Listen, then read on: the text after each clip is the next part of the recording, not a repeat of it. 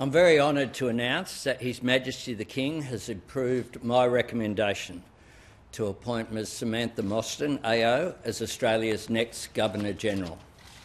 Ms Mostyn will be the 28th Governor-General of the Commonwealth of Australia and the second woman to hold this highest of office.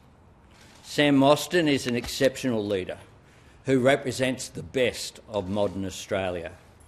She has lived her life in the service of a powerful Australian principle. When more people have the opportunity to fulfil their potential, our nation is a better place. Australia will always be a stronger and more successful country when we draw on the skills and smarts of all of our citizens. This understanding has driven Sam's tireless advocacy for gender equality, particularly in the world of business, for women's safety, and for reconciliation.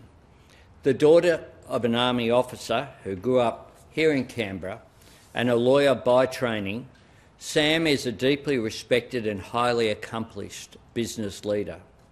I'm deeply honoured by this great privilege and look forward to representing the values, hopes, and aspirations of all Australians.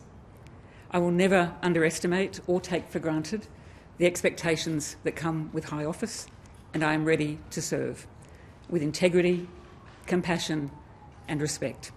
My parents instilled in us the values that they lived so consistently generosity, care for others, respect, curiosity, being of service to society, and always humility.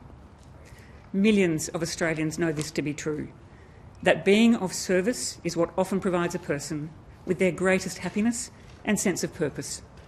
That is certainly the case for me, and I can think of no greater purpose, Prime Minister, than to serve this country I love as Governor General.